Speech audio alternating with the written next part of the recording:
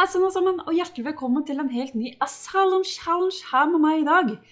Gjett hva jeg endelig har fått gjort.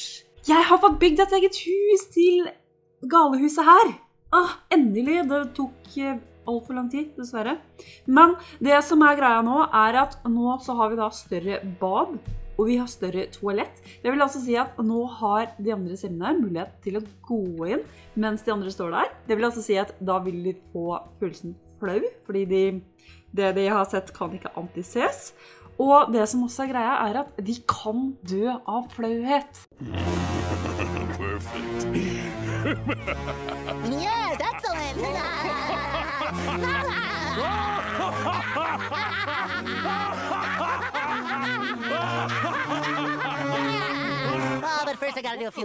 Så jeg er veldig spent. Nå stepper vi opp nok et uh, steg her for å få litt mer dramatikk. For det har vært litt for snilt. Altså, jeg hører jo om folk som har fått første simmen til å dø i løpet av første time, nærmest. Så mine vil bare ikke gjøre noe drastisk, så derfor så da prøver vi bare å shake dem litt for å da få dem til å gjøre det. Men her er det jo da bare å legge seg som vanlig. Oi! Wow! Så dere det der? Og da bare å legge seg som vanlig.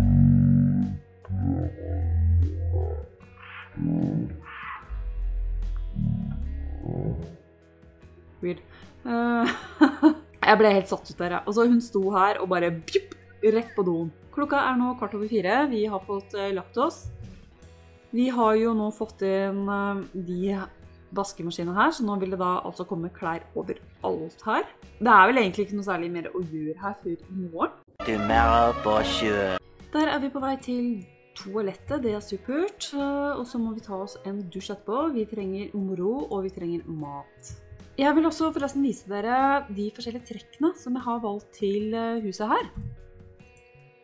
Da jeg da altså valgt forhekset. Det ser ut til at det er mye som har gått galt i denne leiligheten. Vi har også jordskjelvsone. Av og til er det små jordskjelv her. Sikkert ikke noe å bekymre seg for. Pluss at jeg valgte skittent. Tette avløp og skitne benker. Dette stedet virker som å bli skittent skikkelig fort. Så jeg er egentlig veldig spent med tanke på at det blir skittent veldig fort med da åtte simmer stengt i et lite hus. Så det her skal bli veldig spennende. Eh, Du er på vei til eh, dusjen. Topp. Flink. Og så må du gå og spise etterpå. Kan du gå og spise frokost? Pannekaker. Da er det veldig fint at han har bare lagd seg mat, og så la den fra seg. Men du kan gå og spise denne da. Og så kunne du kanskje ha sett på TV mens du spiser. Uh, Sepp. Du står rett foran henne, så hun ikke får sett på TV-en. Stakkar. Velkommen til nabolaget. Get away. We don't want any friends. Jeg håper jeg har huska å lukke den døra her, sånn at ingen kommer seg ut. Ja, det har jeg gjort. Oi, vi har glemt å betale regninger. Det må vi huske å gjøre. Det finner vi da her, og så betale regninger. Ettersom huset her er mye mindre enn det gamle huset, så har vi da 12 000 semillioner i reserve. Det er egentlig bare helt fint. Kan du gå og rengjøre den eh, dusjen her, for den var veldig skitten. Vi trenger fortsatt moro, så kanskje vi skulle For nå er det anspent, så da får jeg uansett ikke brukt staffeliet, tror jeg. Ja, får anspent til å gjøre det her. Men hva skal vi gjøre for å få det moro? Vi kan prøve å zappe litt til. Der røyk TV-en. Vi kan prøve å reparere den selv, og så lete etter deler etterpå. Vi trenger fortsatt moro. Eh, Er det moro Ja, vi går og spiller sjakk. Vi kunne kanskje spilt med noen, sånn at vi da får opp litt sosialt også. Kan ta med Karin. Eller han. Det går helt fint, det også. Eller Karin. Det går også helt fint. Hun er stuptrøtt, så jeg tror kanskje at vi bare må gå og legge oss med en gang. Prøver egentlig å ha et, en god døgnrytme foran, men hun var supertrøtt, så det er helt i orden å gå og legge seg. Cassie, du kan våkne, og så kan du gå og snakke litt med Harald. Vi trenger sosialt her.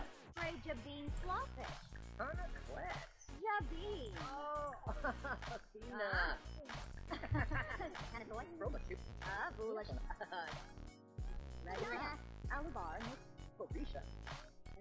you're Der må vi på do, og så tror jeg kanskje at vi bare går og legger oss etter. Cassie, gå på do. Greit, kan du gå og legge deg ordentlig, da? Vi har en vampyr på døra, folkens. Go away! Go away! You're not wanted here. Hvis vi går her nå, så bare står av serien og bare hmm, Plasma. Hmm. Vi må skikkelig på do, og doen er ødelagt. Åh. Det her kommer ikke til å gå bra. Vi burde egentlig også ha en eh, her, for det blir unødvendig mye klær fra de her, altså. Det er klær overalt her nå, sånn seriøst. Men first thing first, vi må få Cassie på do. Åh, supert. Du rakk det. Der kommer det ingen oppgraderingsdeler utenfor, for det blir det søppelblomster av. Hun ja, Vet du hva, jeg tror kanskje at vi kan la Flott sove Pilleren? Six and a half hours later. Da er vi våkne. Jeg la merke til i løpet av natta her at øh, vasken har blitt ødelagt, så da går vi og reparerer den først her. Og så kan du gå og ta klær og legge dem vekk. Det er ikke noe fare å ta dem ut, det er bare mens maskinen går at du helst ikke burde være i det rommet. Eh, er det ikke mulig å vaske klær her, eller? Let i lommer. Smart. Der fant vi 27 simloner. Cool. Fortsetter å lete litt i lommer her, og så må vi ta oss en... Aha, den ødelagte ødelagt også nå! Du kan ta deg en dusj etterpå. Ja, hvorfor går du inn der hvis du må på do? Anita, get out. Kjøleskapet er ødelagt. Surprise. Vet du hva, vi må... Altså, det er så mye klær overalt her, og jeg har litt på følelsen at det blir for mye. Der så får du da ikke brukt den vaskemaskinen.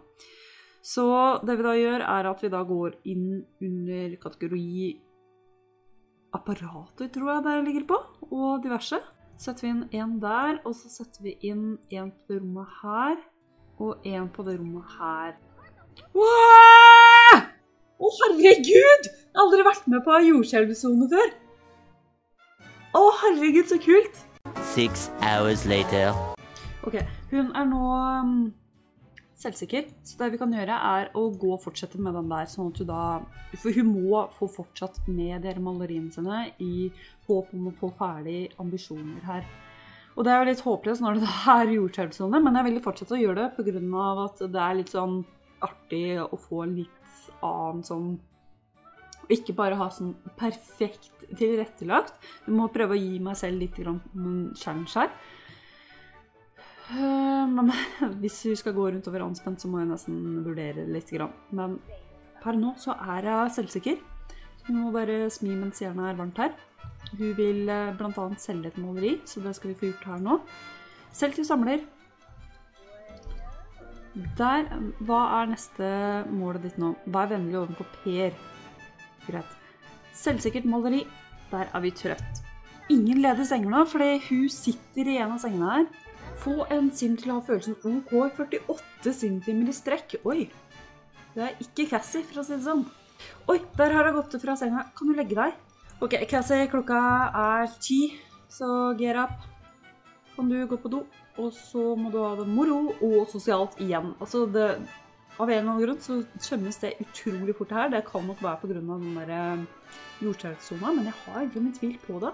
Da kan vi gå og fortsette å male. Kan du da male et selvsikkert maleri? Vi, må, vi har null enestående malerier. Jeg vet ikke helt hva jeg skal gjøre for å få mana de fram.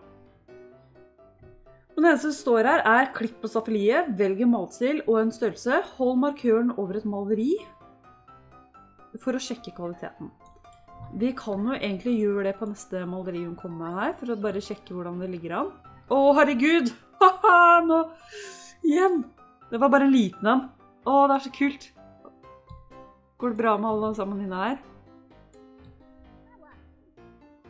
Ok, det er egentlig ikke noe som skjer, det er bare det at de blir anspente, på en måte. Vet du hva, jeg tror kanskje at jeg skifter det der jordskjelvsone-greiene til noe litt mer eh, enklere. Hvis vi da tar arbeidsværelse. Maling skri... Ja, kanskje vi skal gjøre det. Det er egentlig nok av eh, utfordringer her uansett, så jeg tror det går bra, ja. Vi gjør det sånn. Men vet du hva, folkens, da tror jeg kanskje at jeg vil takke for meg selv nå. Nå er det egentlig bare å prøve å få Cassie sine behov til å gå fra superrøde til å bli mer grønne. Men da vil jeg uansett få takke meg, og så ses vi igjen senere. Ha det bra!